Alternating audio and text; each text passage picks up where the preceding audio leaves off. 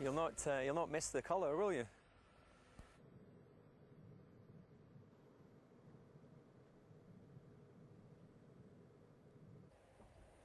Restyled the front a little bit.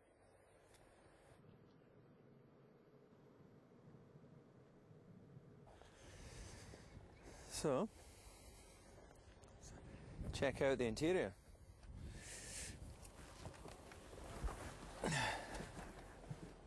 Uh, right, let's give it a go. Let's go e-drive, high performance style.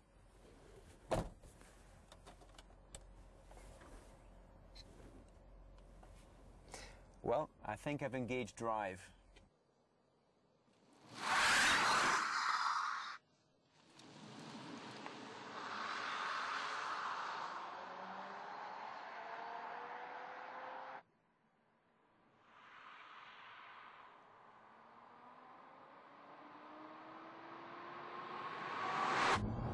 Whoa, what?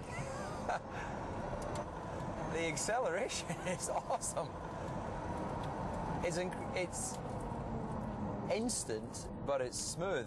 Now that is way way more than I expected. I'll Try and not hit any of the cones.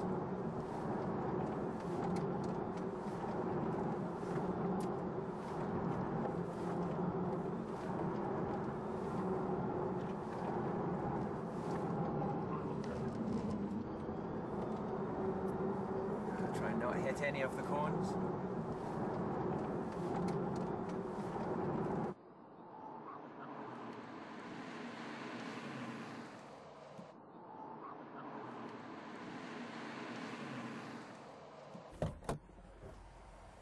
Well, well, first ex- experience of electric car, uh, you will not believe the performance. I'm running through these cables here. Those clever electron. Well, you can really see the future for electric cars with this vehicle. And the colour now, uh, you know, when I first saw the colour, I thought, hmm, I'm not sure. But with that performance, I love the colour. And uh, did you miss some engine noise? you know, but there's, there's a little purring. So this is uh, the standard um, the standard socket, Yeah. like a smart EV and all the electric Daimler um, electric cars. Yeah. And you just take this one. Can I try? Yeah. So even, I've never done this before, I should be able to do this very easily. Yeah, easy. You put it in. That's it. It starts charging now. And uh, with this standard charge, what would you expect battery? Um, so you hear in the camera.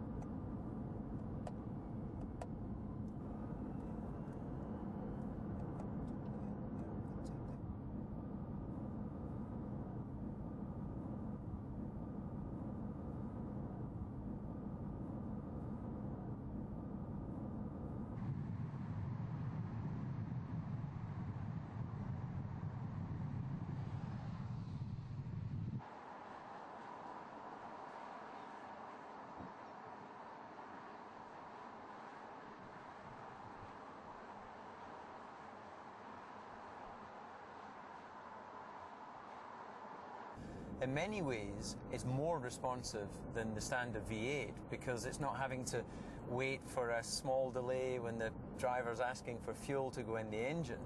Obviously, the limitation is that it has a single gear, so eventually that ratio will run out of of uh, the ability to get to very top speed. But in terms of its not to 60 or not to 100 and whatever it is kilometers an hour, it's right there with the uh, the SLS, which would come over this really funky Norwegian bridge.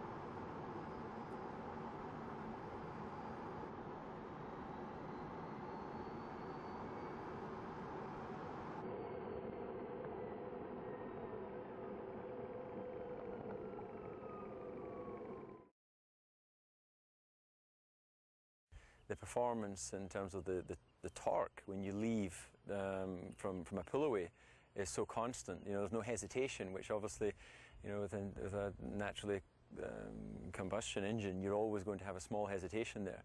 So I, I really came here with no expectation of what the performance could be like, and uh, I've been blown away with uh, the acceleration characteristics.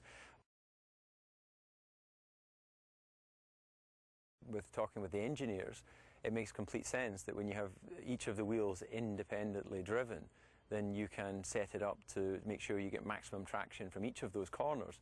Because of course, when you if you go in a straight line, then it's a lot lot easier to get the maximum out of each tire. But suddenly, when you start to have corners and lateral G, naturally you have roll in the car.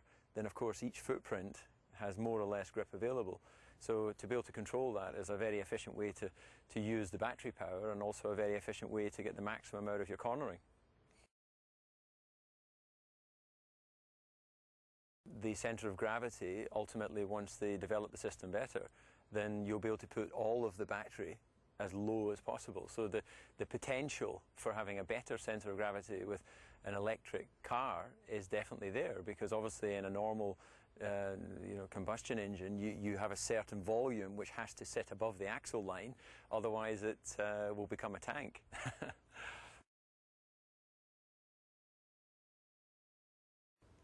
well, it's a single gear, uh, and this, uh, you know, is obviously designed to operate to a certain top speed. Obviously, if you wanted to achieve very high speeds beyond normal road car driving, then you would need to set the gearing accordingly. Um, but for the sort of driving we're doing here, you, you just accelerate. You simply pull away. There's no fear of, of being outside the torque uh, characteristic of the, the engines because it's, it's a constant torque from when you, when you start to accelerate.